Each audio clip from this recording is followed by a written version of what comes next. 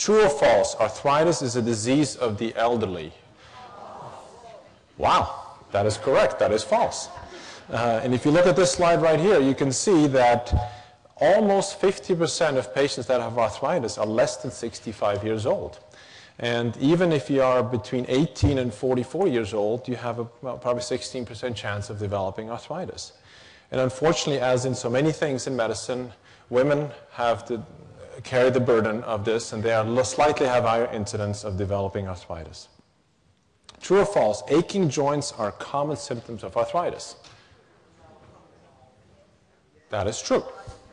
That's why patients come and see us. They say, my knee hurts, my hip hurts, my shoulder hurts, my ankle hurts. So that is probably one of the first symptoms that a patient will seek medical treatment when they have arthritis. True or false? People with arthritis must learn to live with aching joints. I certainly hope so. I think we've talked a lot about today what you can do to, uh, to help you with these symptoms. So uh, please seek medical care if you have aching joints. True or false? Some people just wake up one morning and have a painful arthritis, uh, painful arthritis in the knee or hip. Actually, that is true. Yes. And that is frequently we see patients come to our clinic and they say, well, you know, my knee has been hurting for about a week. And then I tell them that their bone looked they're bone on bone on their x-ray. And they say, well, you know, they didn't become bone on bone in a week, so why didn't they hurt before? Well, part of arthritis is an inflammatory process, and it's the inflammation that really causes the pain. And sometimes the grandkids were over and they jumped on your knee and they caused some of that increased inflammation. It was funny, after Hurricane Ike, we saw quite a few people come in with aching joints. And I think the cleanup of the hurricane, people sort of overused their joints and then they developed the symptoms of arthritis, even though they've had arthritis for quite some time. How many Americans have arthritis? A, B, C, D, or E?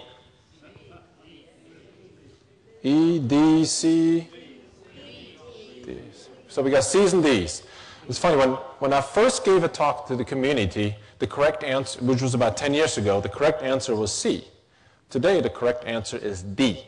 It's more than 50 million. And when you look at the burden of arthritis, it's the leading cause of disability in the United States.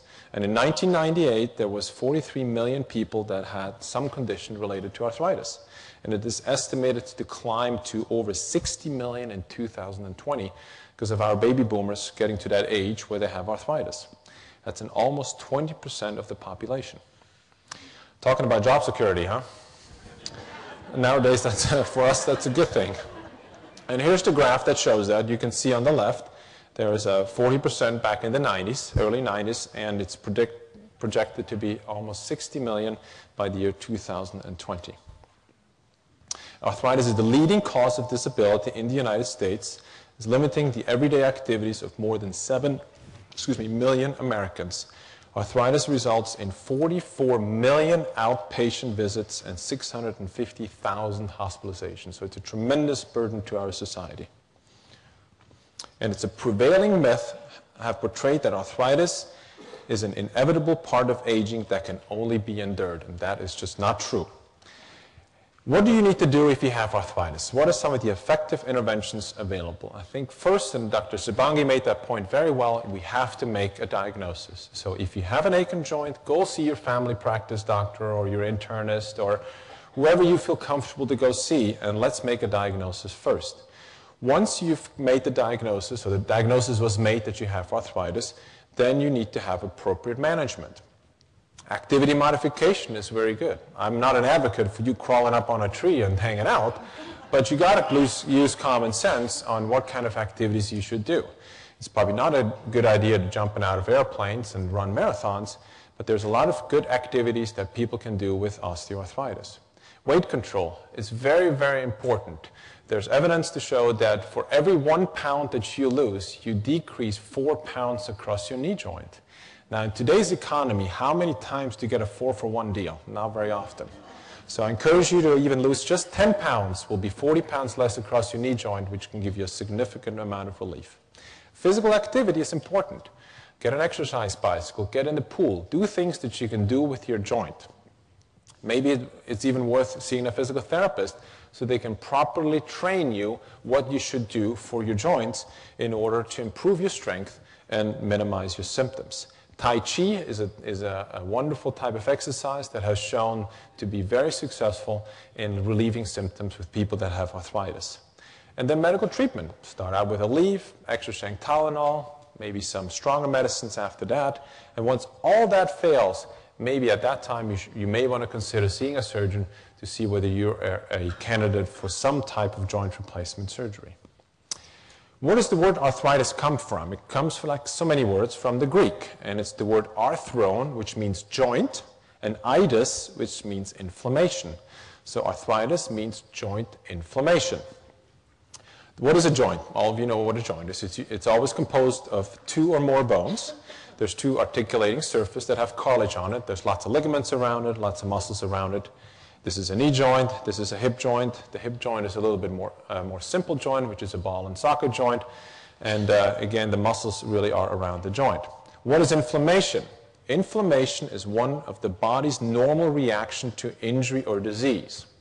All of you here who've had a joint replacement done all know that after you've had your joint replacement done, your knee is hot. And we always get that question, you know, my knee is still warm. Is it infected?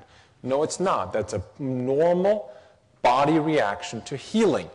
And it's because inflammation is a good thing for healing, but it's not a good thing when you have an arthritic joint. True or false? Once the cartilage in a joint has worn away in osteoarthritis, your body will not grow new cartilage. That is true. It will not grow new cartilage. If anybody knows how to grow cartilage, let me know. And we'll, uh, we'll go to Wall Street and be, be wealthy. What is osteoarthritis? Osteoarthritis is the most common type of arthritis. It's seen in many people as they age. It's often more painful in the weight-bearing joint, such as the hip and the knee and the spine. And all joints may be more affected if they are used extensively through work and sports and, so, and such things. This is a hip joint. You can see that the cartilage is covering the ends of the bone is worn away. And you start seeing some degeneration of the cartilage. But really, when you start having symptoms is when you have the inflammation. And again, the inflammation can be set off by activity or by uh, some uh, accident or tripping or falling or something like that. And it's the inflammation that really hurts. Once the joint has then progressed through the process, you can form bone spurs, which if you heard about, and that's when the joint just feels fuller and you have these bumps and lumps all over us, which is more common in the knee. It, the continued use of the joint then uh, causes pain, which is then uh, uh, which restricts your activities. What causes osteoarthritis? Well, as I told you earlier, it's the most ubiquitous condition known to man. Everybody has some degree of arthritis, especially in certain age groups, but we have no clue what causes it. Some feel that it might be an imbalance of enzymes in the joint. Well, we do know that it causes the cartilage to wear away. Then you have bone on bone, and then you, the body's reaction to try to repair that creates these bone spurs and tries to alleviate the symptoms. Who is at risk? Unfortunately, it's anybody that's above 45 years old. Again, women are at a slightly higher risk of getting arthritis than men. There are certain conditions of defective cartilage. Obesity is again a risk factor for osteoarthritis and some joint injuries. There are other conditions such as rheumatoid arthritis, which uh, are an autoimmune disease, which causes degeneration of multiple joints in your body. What are the symptoms? The uh, pain in the joint during or after use. It's discomfort in a joint before or during the change in weather. Some people can tell them they're a better barometer or better weather forecast than the, than the Fox News uh, to tell us when it's going to get bad because their joints ache. There's some swelling and there's some stiffness, especially when they use this, and then you have these lumps and bumps. How is arthritis diagnosed?